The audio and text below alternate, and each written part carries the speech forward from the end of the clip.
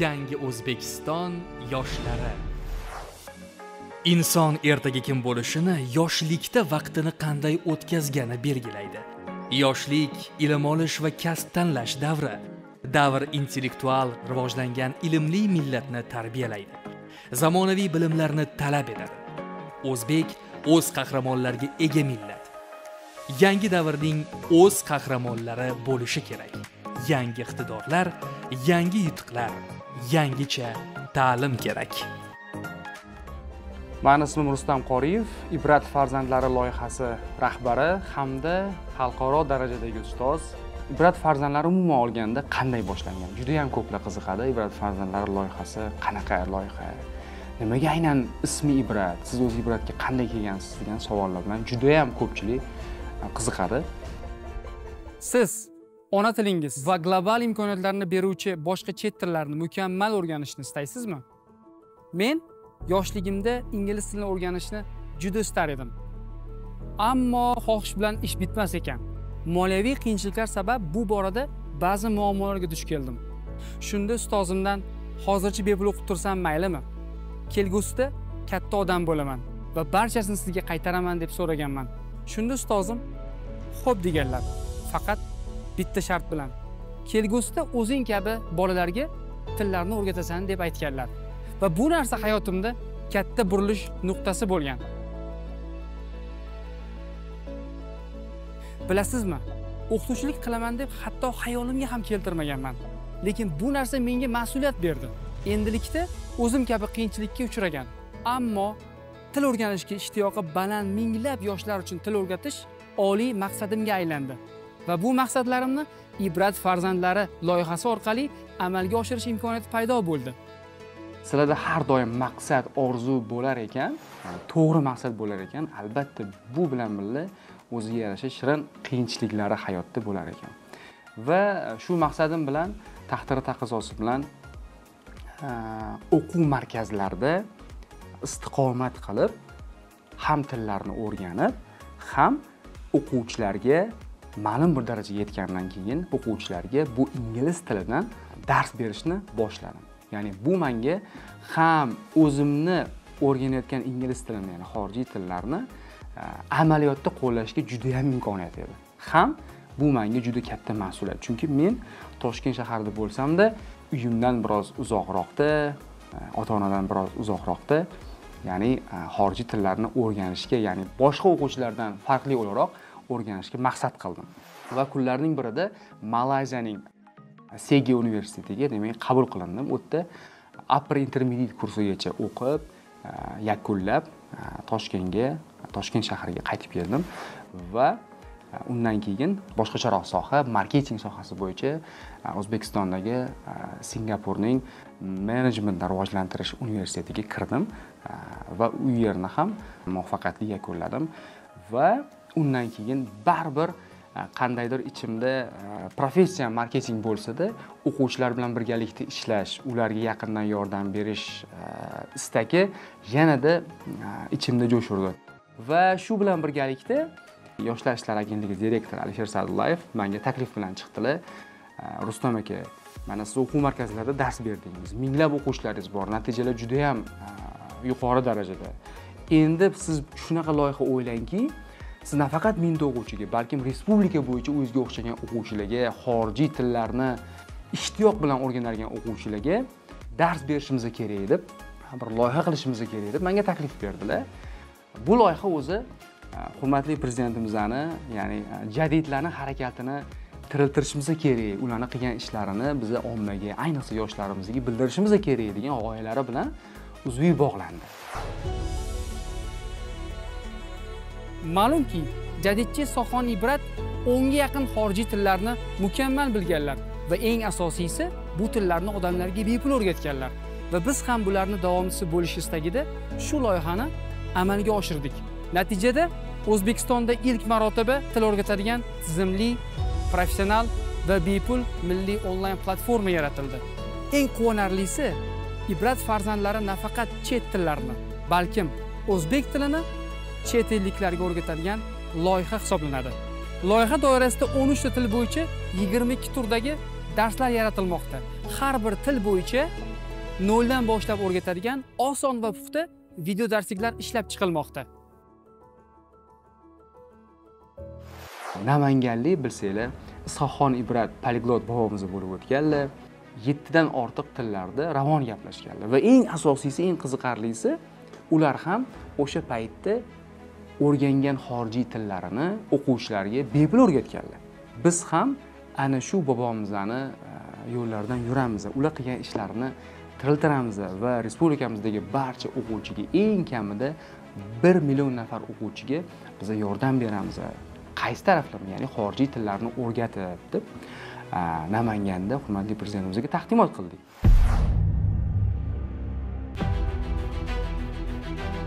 Ikki yarim mingdan ortiq video darsliklar tayyorlagan Ser Blanco nima? Estar Blanco nima? assalomu alaykum aziz do'stlar А теперь, конечно же, ваш звездный час. yakunlaymiz sizlar bilan birgalikda ibrat farzandlari jamoasining ibrat camp ibrat master klass ibrat quiz ibrat debat notiqlik mahorati kabi loyihalari ham mavjud biz turli xil tillarni o'rgatamiz ingliz tili rus tili nemis tili va boshqa ko'plab tillar ibrat farzandlari platformasida kuchli 23 ta malakali o'qituvchilar sizga bilim beradi.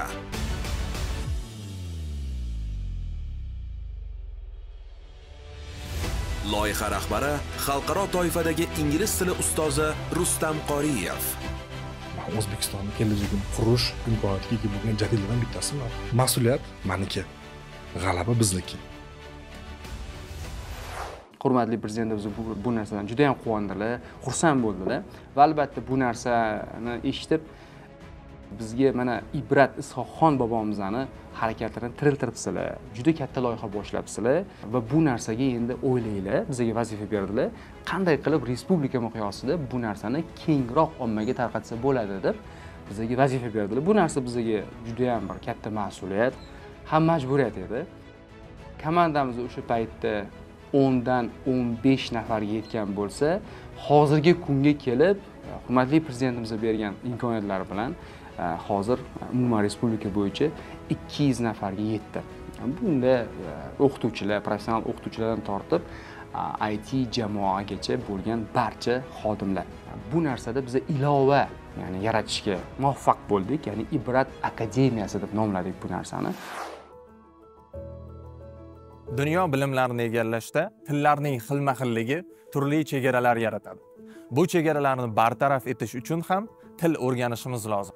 Shu maqsadda barcha til o'rganuvchilar uchun keng imkoniyatlar eshigini ochuvchi maxsus ilova ibrat academy ilovasini sizlarga taqdim etamiz. Til o'rganish insonning yoshi va hayotiy tajribasidan qat'iy nazar barcha uchun ochiq va tushunarli bo'lishi lozim. Bizning jamoa sodda lekin ko'p funksiyalarga ega ilovani yaratish uchun bor kuch va imkoniyatini ishga soldi.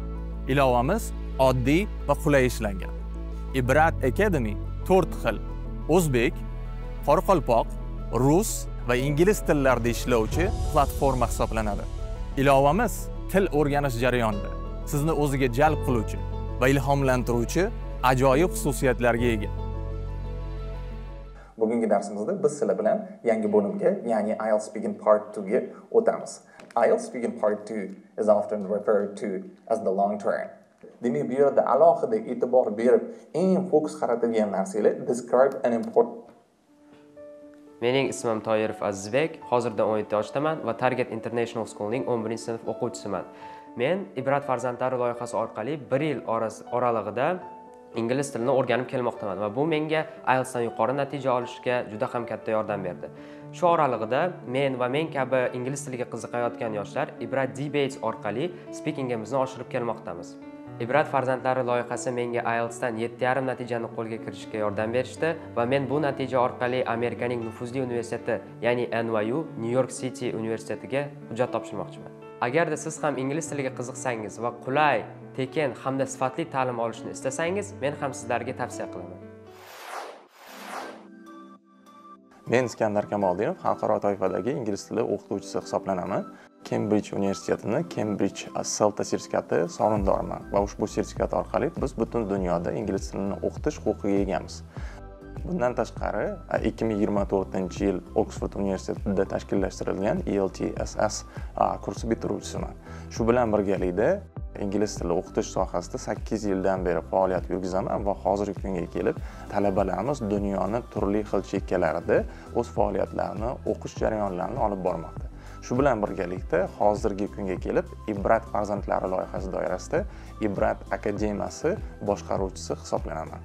Hozirgi kunga kelib ibrat akademiyasi ilovasidan bir million to'rt yuz mingga yaqin yoshlarimiz turli xil tillarni bepul tizimli va kreativ tarzda o'rganib kelmoqda. Shu jumladan bularni orasida eng ommabop hamda juda ham mashhur bo'lgan til bu ingliz tili hisoblanadi. Ingliz tilini hozirga kelib sakkiz yuz mingga yaqin foydalanuvchilar o'rganib kelmoqda. Assalomu alaykum aziz do'stlar. Sizlar bilan iskandar kamoldinov xalqaro toifadagi ingliz tili o'qituvchisi. Sizlar bilan IELTS darslarini boshlashga tayyormiz. Ushbu IELTS darslarida sizlar bilan o'zi IELTS nima IELTSdan qanday qilib yuqori natijaga erishish mumkin va IELTS sirlari to'g'risida gaplashib o'tamiz. Bugungi birinchi sonimiz IELTSga kirish ya'ni introduction to IELTS eng asosiysi ibrat akademiyasi ilovasi yoshlarga judayam ko'p imkoniyatlar yaratib beryapti. Sababi nimaga? Chekka qishloqda qaysidir bitta tilni o'rganaman degan yosh o'zi uchun professional o'qituvchini topishga qiynalishi mumkin. Masalan ispan tilini yokida italyan tilini o'rganmoqchi bo'lgan yosh shahar markaziga borishi kerak. Shahar markaziga borgandan keyin ma'lum bir miqdorda to'lovni amalga oshirish kerak. Agar to'lovni qilish qobiliyati bo'lsa endi o'qituvchi topish muammosi bo'ladi yokida oilali ayollar bo'lishi mumkin. Ular o'zini oilasidan ortib qaysidir paytda til o'rganaman desa o'sha paytda kech tushib qolishi mumkin. Ya'ni kunni kechki qismi. Va ularda imkoniyat bo'lmaydi tillarni o'rganishga. Lekin ibrat akademiyasi ilovasi ularga xuddi shu hamma oldida turgan baryerlarni bartaraf qilib o'zlarini uyiga eng qulay tarzda kirib bordi. Va hozirgi kunga kelib ular ingliz tili rus tili italyan tili ispan tili va shu qatorda jami bo'lib yigirma ikkita tilni aytib o'tganimdek kreativ tarzda professional ustozlardan judayam sodda oson eng asosiysi o'zbek tilida tushuntirilgan formatda o'rganish mumkin bo'ladi Buongiorno. Assalomu alaykum hurmatli italyan tili ixlosmandlari. Ahvollaringiz yaxshimi? Italyan tilida salomlashish so'zlarini hamda eng kerakli bo'lgan savollarni ko'rib chiqamiz. Qani, boshladik. Endi ibrat farzandlari nafaqat atrofdagilarni va balki ibratni o'zidagi insonlarni hayotini o'zgartirishga qodir bo'lgan bitta loyihalardan bittasi hisoblanadi. Bu nimaga bunaqa gapirilyapti yoki nimaga asoslanib gapirilyapti degan savolga men o'zimni shaxsiy tajribamdan kelib chiqib shu olti yil o'qitish davomida yoki mana sakkiz yil bo'ldi hozir e, ingliz tilini o'qityapti turganimizga demak shu sakkiz yil davomida uch mingga yaqin talabalarni o'qitdik bu degani yiliga taxminan besh yuztadan. Ya'ni ham o'sha samaradorlikni oshirganimizda yiliga mingtadan agar o'quvchi o'qitadigan bo'lsak o'n yilda o'n mingta yigirma yilda yigirma mingta o'quvchini biz ingliz tiliga o'rgatishimiz mumkin edi. Lekin ibrat farzandlarini samarasi barakasi o'laroq hozirgi kunga kelib ielts darslarini bepul tarzda uch yuz bir mingdan oshiq talabalar o'rganib kelmoqda. Va o'zlariga kerakli bo'lgan o'sha IELTS ballarini qo'lga kiritib IELTS sertifikatini qo'lga olishdi. Ko'rishib turganimizdan bag'oyatda xursandmiz. Sizlar bilan iskandar kamoldinov xalqaro toifadagi ingliz tili o'qituvchisi. Demak bu yerda biz agar raqamlarga qaraydigan bo'lsak agar yiliga juda samarador ishlab judayam qattiq harakat qilib ikki mingta oddiy usul bilan talabalarni o'qitish mumkin bo'lgan bo'lsa demak uch yuz mingta talabani o'qitish uchun bir yuz ellik yil vaqt talab qilinardi lekin ibrat farzandlarni barakasi ibrat farzandlarni samarasi va jamoani ruhiyati bilan hozirgi kunga kelib uch yuz mingta talabani o'sha ibrat akademiya ilovasi ikki ming yigirma uchinchi yilni avgust oyida ishga tushgan bo'lsa shu kundan beri mana uch yuz bir mingta odam hozir ieltsni o'zini o'rganyapti. Sababi nimaga chunki men oldin ielts o'qish bilan shug'ullanganman va ielts doirasida hozir bu ma'lumotlarni berib o'tyapman. Hozir aytib o'tganimdek ingliz tilida sakkiz yuz mingdan ortiq umumiy hisobda bir million to'rt yuz mingga yaqin foydalanuvchilar tillarni bepul va professional tarzda o'rganib kelmoqda. Bundan tashqari aytib o'tishim mumkinki ibrat farzandlari doirasida o'zbek tilini o'rgatish ham biz joriy qilganmiz. Va o'zbek tilini ingliz zabon zabon o'rganuvchilarga hozirgi kunda o'rgatib kelmoqdamiz Давайте вместе скажем. Xush kelibsiz. Xush kelibsiz. Видите, как я быстро читаю келипсис? Xush kelibsiz. И букву И я не вытягиваю. Я не говорю хуш келипсис. Да, или я не говорю хуш келипсис. Я говорю хуш келипсис. Буква И очень короткая. Келипсис. Келипсис. Xush kelibsiz. bularga qo'shimcha tarzda savodxonlik darslari ham bor. Savodxonlik o'zbek tili savodxonlik darslari. Va bu yerda bitta juda yam qiziqarli fakt e, o'zbek tilini o'rganuvchilar umumiy hisobda hozirgi kunga kelib ikki yuz ellik mingdan oshgan.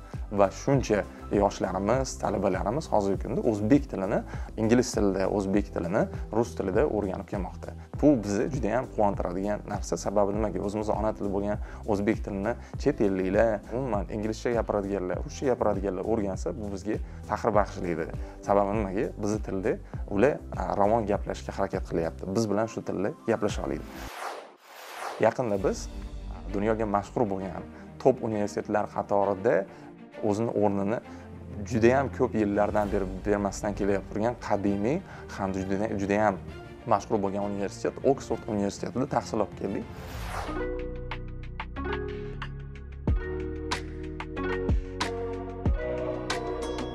Assalomu alaykum qadrli do'stlar. Bugun ajoyib kun. Biza ibrat farzandlari a'zolari rustam qoriyev va iskandar aka kamoliddinov birgalikda safarga otlandik topinglar qayerga? Londonga oksfordga. Sayohat qilamiz bu sayohatimizdan maqsad asosan oksfordda eng zo'r bilimlarni olib ya'ni e, ibrat farzandlarni bilasizlar til o'rgatadi. Aynan til o'rgatishdagi metodi xalqaro metodida e, gamifikatsiya orqali ta'limni gemifikatsiya o'yinlar orqali o'rgatish e, ya'ni talabalar bilan xalqaro aloqalarda kulturalarni o'rganish va shunga o'xshagan shu kabi judayam ko'p kurikulumlar bor dasturlar bor. Harakat qilamiz buni keyin har kunni sizlar bilan e, bog'lab berib turishga.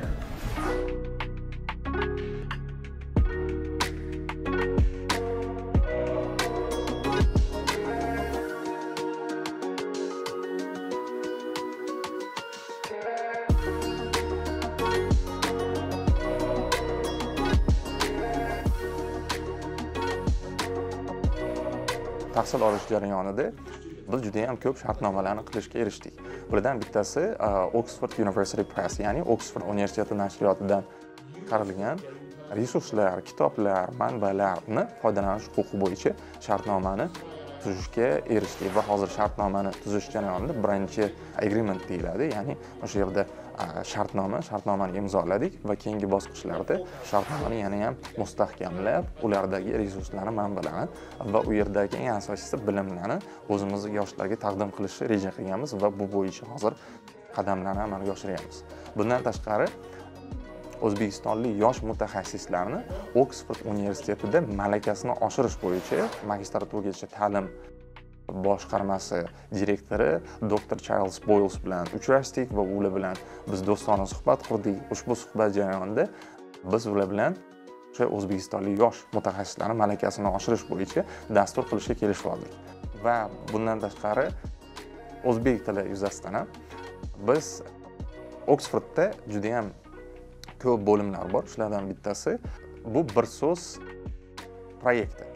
Ya'ni bir so'z loyihasi oksford universitetida o'zbek tilini o'qitish bo'yicha dastur amalga oshirilyapti va u yerdagi ijrochi direktor leyla najafzada va bodlian library ya'ni bodlian kutubxonasi. Bodlian kutubxonasi haqida ham qisqacha ma'lumot berib o'taman. Bodlian libraryda o'n uch milliontadan oshiq kitoblar jamlangan va dunyoni eng boy kitoblarga boy xuddi dunyoni eng katta banki pullarga resurslarga boy bo'ladigan bo'lsa bodlean library ya'ni bodlean kutubxonasi eng ko'p qadimiy kitoblarga boy kutubxona hisoblanadi va o'sha yerda o'zbek tili va markaziy osiyo bo'yicha kurator nikolas kantavas janoblar bilan ham ko'rishdik ular bilan fikr almashdik eng qizig'i nikolas kantavas biz uni sodda qilib do'stona niko deymiz nikolas o'zbek tilida oksfordda biz bilan suhbatlashdi.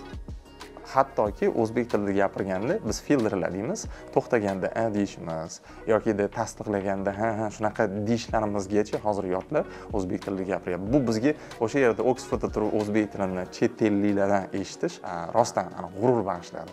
Biz faxrlanib ketdik mana o'zbek tilini shu yerda o'rgatishyapti va xuddi shu tarzda gapiryapti degan ma'noda juda yam xursand bo'ldik. Endi kelgusidagi rejalarimiz juda ham ko'p yoshlarimizga biz kerakli ma'lumotlarni berishga mana oksford universiteti press bilan imzolagan shartnomamiz orqali bundan tashqari hozirgi kunda sun'iy intellektni har xil sohalarda qo'llash va qo'llash orqali samaralilik darajasini oshirish yuzasidan ishlar olib borilyapti. Shu jumladan ibrat farzandlari loyihasi doirasida ham sun'iy intellektni ta'lim sohasini rivojlantirishga darslarimizni rivojlantirishga va foydalanuvchilarga turli xizmatlar ko'rsatishga hozir harakat qilyapmiz va bu bo'yicha juda ko'p ishlarni amalga oshiryapmiz tez orada sun'iy intellekt bo'yicha ba'zi xizmatlarimiz e, joriy etiladi va biz foydalanuvchilarimiz e, bu xizmatlardan ham foydalanishi mumkin bo'ladi. Ielts darslariga qo'shimcha sifatida mana shuncha darslar olinyapti ularni samarasi qanaqa? degan savol tug'ilishi hammada tabiiy. Hozirgi kunga kelib e, bizni foydalanuvchilarimiz orasida ielts darslarini tugatib brat farzandlarida ingliz tilini o'qib sertifikat qo'lga kiritganlar juda yam ko'p. Ularni orasida olti balldan tortib sakkiz ballgacha qo'lga kiritganlar bizga o'z xabarlarini yetkazishyapti shu jumladan misol tariqasida yaqinda mana o'zimizga kelgan xabarlardan bittasi foydalanuvchilarimiz o'quvchilarimizdan bittasi o'zini story deymiz ya'ni o'zini qisqacha bo'lgan hikoyasi bilan bo'lishgan. U inson uch to'rt oy o'zini tumanida ielsdan tayyorgarlik qilib o'zini ballini oshirolmagan va shu jarayonda topshirib o'qib besh yarimdan ball oshmagan. Va u ikki oy davomida ibrat farzandlari orqali ielts darslarini kuzatib borgan va o'rgangan shundan keyin u ielts qayta topshirgan va topshirish natijasida ielts balli olti yarimni ko'rsatgan bu uning uchun juda yam quvonchli xabar bo'lgan. Sababi bu topshirmoqchi bo'lgan joyga yetarli bo'lgan va ushbu xabarni bizga qoldirdi. Biz u bilan aloqaga chiqdik tabrikladik va hattoki o'zimizni ijtimoiy tarmoqlarimizda ham uni ushbu qisqacha bo'lgan motivatsion hikoyasi bilan bo'lishdik. Shunaqa xatlardan bizga juda yam ko'p keladi. Yaqinda bittasi bilan gaplashganmiz. Men xabar yozdim unga. Xabar yozib siz mana kerakli ballni qo'lga kiritibsiz. Shu bo'yicha bizga o'zingizni hikoyangizni gapirib bersangiz qanaqa bo'ldi qiyin bo'ldimi osonmi nimalardan o'tdingiz darslar qanchalik yordam berdi degan savol bilan murojaat qilgandim. Bir oy o'tib javob berdi va javob yozishida men vaqtida sizga javob berolmay qoldim ustoz. Sizni darslaringiz uchun kattakon rahmat. Javob berolmaganim sababi men bir oylik harbiy xizmatga ketgan edim. Mana qaytib keldim sizga javob beryapman. Deb e, o'zini xabarini yakunlagan. Demak aytmoqchi bo'lganim darslar samarasi mana hozirgi foydalanuvchilarimizni hikoyasida o'zini namoyon qilyapti. Shuning uchun e, bemalol ibrat farzandlaridan ingliz tili darslarini rustam qoriyevdan ielts darslarini iskandar kamoldiyevdan o'rganib turli xil chet tillarini o'rganib bemalol o'zinglarga kerakli natijani qo'lga kiritishinglar mumkin bo'ladi. Bitta narsaga man amin bo'lib hech qanday shak shubhasiz aytishim mumkinki ya'ni bu yurtda tug'ilgan e, farzandlar hech qachon ya'ni kam bo'lmaydi. Ayniqsa davlatimiz rahbarini qilayotgan siyosatlari ayniqsa yoshlar siyosati yoshlarga berayotgan alohida ahamiyatlari e'tiborlari bu katta narsa. Misol uchun man yoshligimda aynan bunday ya'ni ibrat farzandlariga o'xshagan loyihalar bo'lmagan. Ya'ni bir o'quvchi o'laroq o'zini bir talantini yoki bir mahoratini ko'rsatadigan imkoniyatlar bo'lmagan. Ya'ni tasavvur qiling bir viloyatdagi chekka hududdagi inson bir paytlar oksfordga borib o'qishni hatto orzuga ham hatto bir maqsadlariga ham kirita olmagan o'quvchi hozirgi kunda aynan shu davlatimizga berayotgan imkoniyatlar orqali ingliz tilini bepulga o'rganib oksfordda o'qib eng muvaffaqiyatli global liderlarga aylanishi mumkin bo'lgan imkoniyatlar davlatida yashayapmiz. Va bu menga judayam katta g'urur va faxr bag'ishlaydi. Man o'ylaymanki ibrat farzandlari bunga yaqqol misol bo'la oladi. Bu loyiha faqat tillar haqida emas imkoniyatlar haqida. Biz bilim o'zgarishlarning asosi va imkoniyatlar eshiklarini ochuvchi kaliti ekanligiga qat'iy ishonamiz. Bu loyiha muloqot networking va dunyo ilmlarini zabt etishga yordam beradi. Lekin biz bu bilan hali to'xtab qolganimiz yo'q. Ibrat farzandlarining yana bir eksklyuziv loyihalaridan biri kitoblardir. Har bir til bo'yicha videodarsliklar asosida kitoblar ishlab chiqilmoqda. Kechagina ingliz tili bo'yicha olingan videodarsliklarim bugun kitob shakliga keldi. Kelgusida esa boshqa tillardagi videodarsliklarimiz ham kitobga aylantiriladi va ular yoshlarning qo'liga yetib borib ularning ilmiy rivojlanishiga yordam beradi. Bugun til o'rganishda yangi davr boshlandi. Siz ham bizga ushbu intellektual harakatga qo'shiling chunki biz dunyo madaniyatlari o'rtasida ko'prik yaratamiz kommunikatsiya imkoniyatlarini rivojlantiramiz va hamma uchun dunyoning istalgan burchagida erkin va ravon muloqot qilish imkoniyatini taqdim etamiz. Mobil ilova orqali sizga dars berib qadrdon bo'lib qolgan ustozlar bilan uchrashishni xohlaysizmi? Endilikda tillar marafoni doirasida biz siz yashaydigan hududga tashrif buyuramiz va siz bilan uchrashamiz. Ibrat farzandlari jamoasi onlayn va offlayn siz bilan birga. Hoziroq ilovani yuklab oling. Va til o'rganishni biz bilan boshlang. Bu yangi va muhim inqilob. Bu tizimli professional va bepul ta'lim inqilobi. Biz ilm atrofida insonlarni bir joyga jamlashni maqsad qilganmiz va bu maqsad atrofida yuzlarni mingga minglarni esa millionlarga aylantirmoqchimiz. Til o'rgatish orqali bitta bo'lsada inson hayotini o'zgartira olsak ibrat farzandlari jamoasi o'z maqsadiga erishgan bo'ladi